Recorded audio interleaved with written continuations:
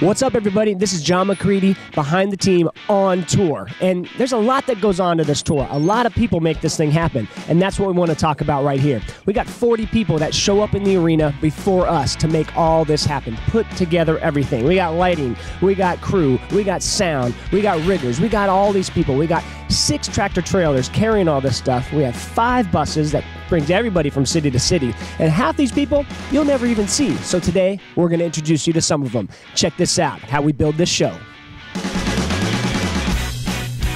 My name is Eric Fluster. I'm the production manager of this tour, and I'm responsible for the setup and the loading of all the equipment and the load out of all the equipment also. My name is Eric Smith. Um, I handle all the audio and music on the tour. All guys, come here. We have five trucks out on tour here, two of them containing gym gear, two of them containing lighting gear, and fifth one containing production equipment. It takes us about six or seven hours from start to finish to set the equipment up. We manage to take it out in three to four hours.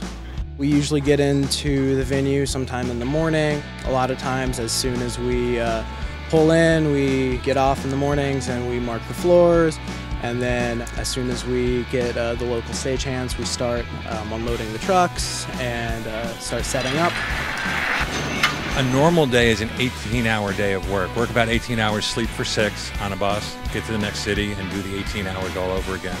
The longest period is the tech-in period where we're in rehearsals and we'll work pretty much 20 hours a day and come back four hours later and start up again.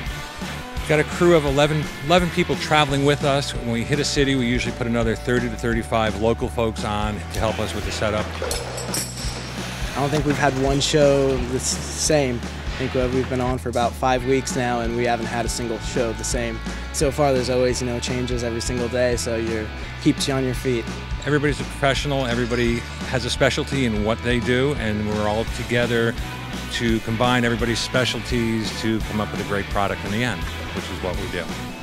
So now you can see, without these people, we could never put on a production like this. For example, they finish here tonight, they take a shower, they get on a bus, and they get to the next city, never seeing a hotel room, and do it all over again every single night.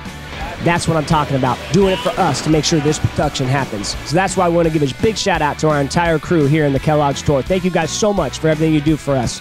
I'm John Macready, behind the team on tour.